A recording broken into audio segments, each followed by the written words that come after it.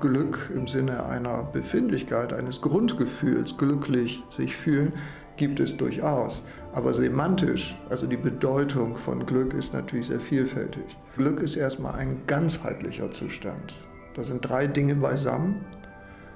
Das Gefühl ist positiv.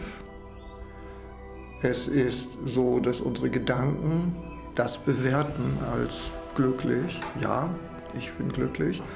Und dass unser Geist auch dabei eine Rolle spielt. Dass wir gerade bei Glück empfinden, hier stimmt etwas ganz.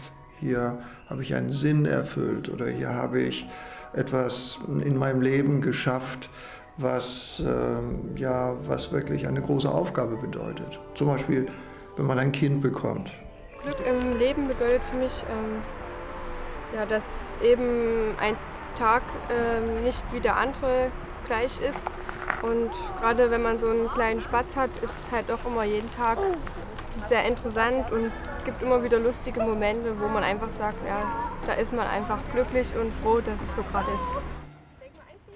Ich glaube, ein Kind oder ein sehr kleines Kind ist glücklich, wenn es etwas drei Dinge bekommt.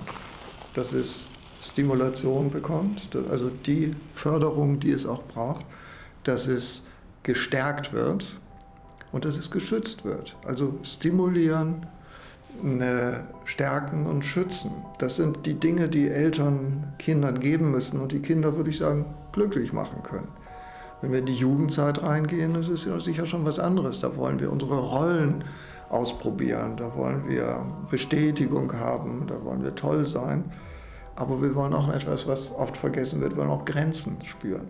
Und ein Erwachsener, kann man sagen, der ist wohl dann glücklich, wenn er seine verschiedenen Rollen, die er im Leben spielt, irgendwie unter einen Hut kriegt. Wenn diese verschiedenen Rollen funktionieren als Vater, Partner, Berufstätiger, Nachbar, Freund und wenn er in diesen Rollen ähm, ja, Erfüllung findet, dann ist das sicherlich das Glück also als Gesamtkunstwerk.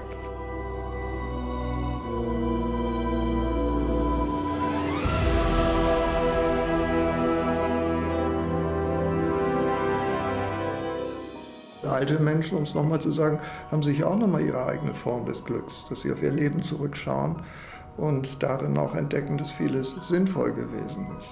Ich denke, das hat auch nochmal eine andere Qualität. Ne?